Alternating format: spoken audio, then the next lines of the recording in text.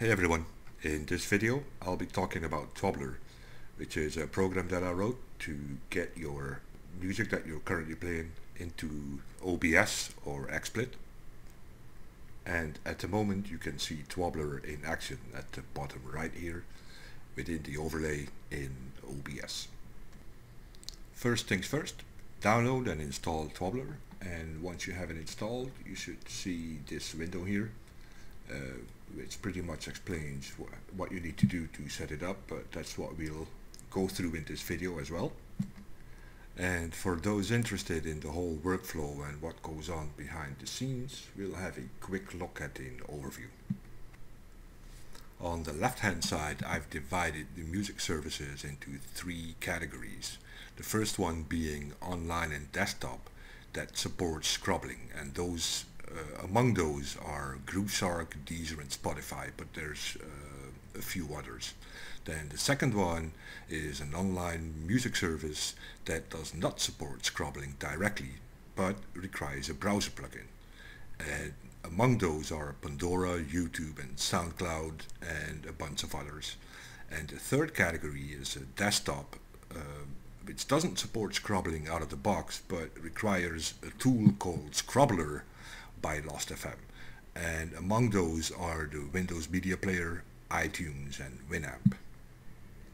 Once you have set up and configured your music service to scrobble to Last.fm, Twobbler will then read that info and write it to a text file on your hard drive and then you load that text file into OBS or XSplit. So in order to get everything working, the first thing you'll need is a Last.fm account. In case you don't have one, go to last.fm and create an account there. Once you have an account, important thing is your account name because you'll need that in Twobbler. And in case you'll be using a desktop music player like Windows Media Player, iTunes or Winamp, scroll down to the bottom and click on Download Desktop App download the Scrobbler for Windows and install it. Just to be clear, you only need the Last.fm Scrobbler if you'll be using a desktop music player like Windows Media Player, iTunes, etc. Otherwise, you don't need this at all. So okay, I'm gonna go back to my profile page. Gonna copy this, paste it into Twobbler and hit submit. Now Twobbler retrieves the information from my Last.fm account.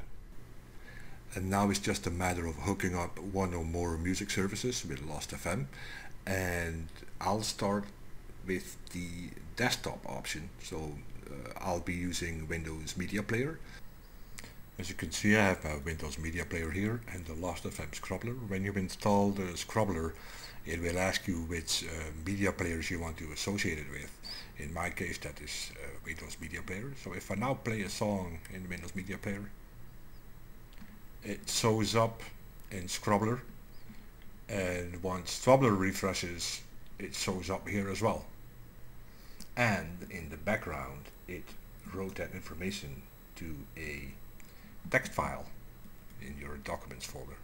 So if I open it up, what you see here is the info that will be displayed in OBS or XSplit.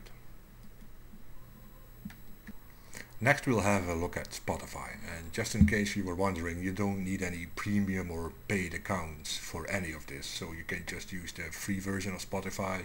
You don't need a premium account for Last.fm none of that.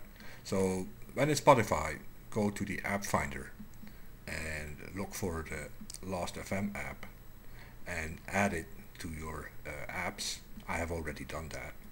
So once I go to the Last.fm app itself, it will ask you to log in with your account so and that's what you do and from then on everything you play in Spotify will be automatically scrobbled to uh, Last.fm.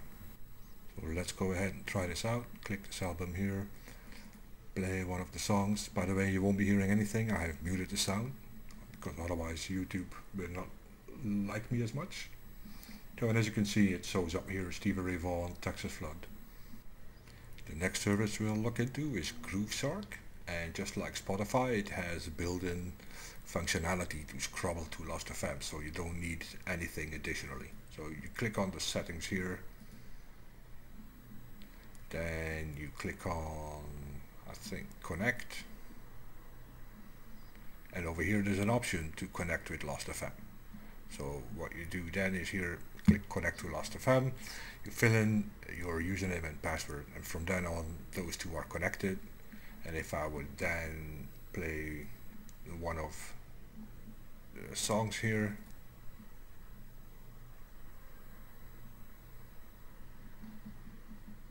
there it is. It shows up in Twobbler okay so far we've looked at scrobbling from uh, Spotify using the Last.fm app built into Spotify and from Grooveshark which has Spotify functionality built in.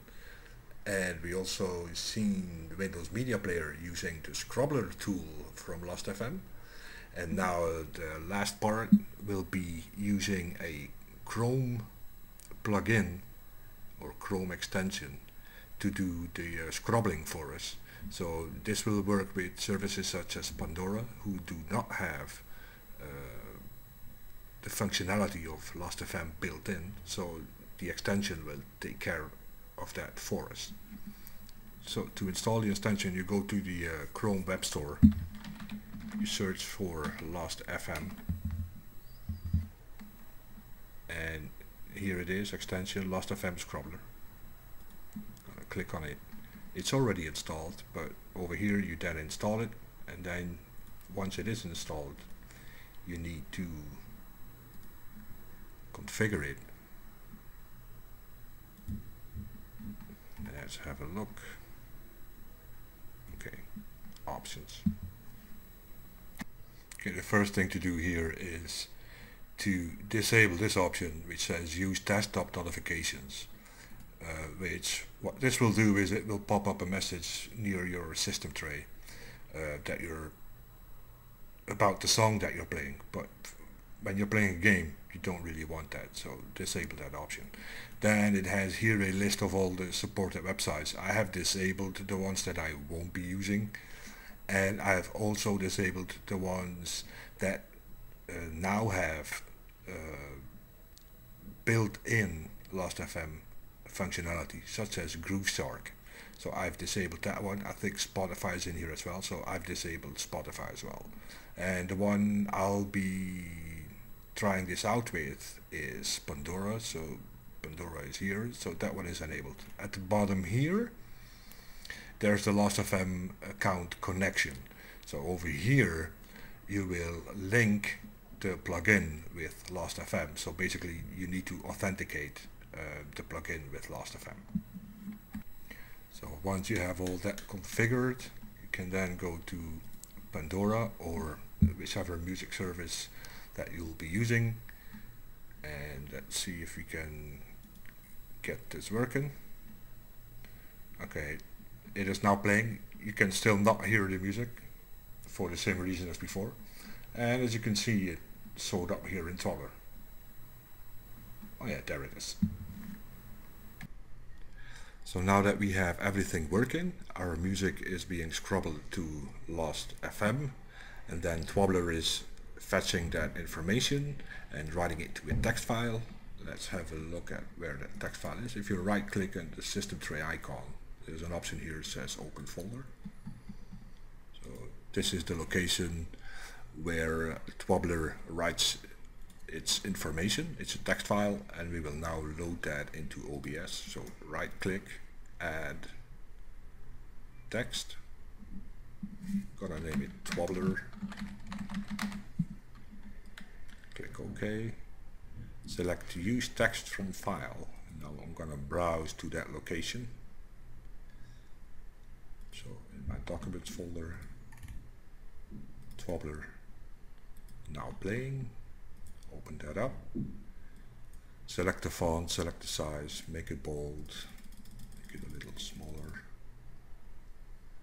Gonna click OK so I can already see it. Show up here at the top left.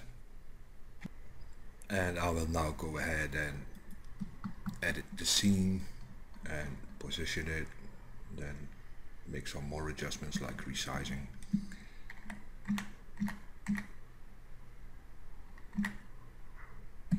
okay that looks good. So I'm gonna double click this.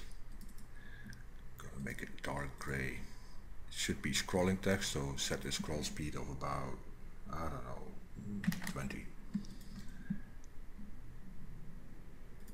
make it a bit smaller like this. I'm gonna use the option use custom text extents and then as I resize this you'll see a green box. And I'm gonna make it so that it fits my UI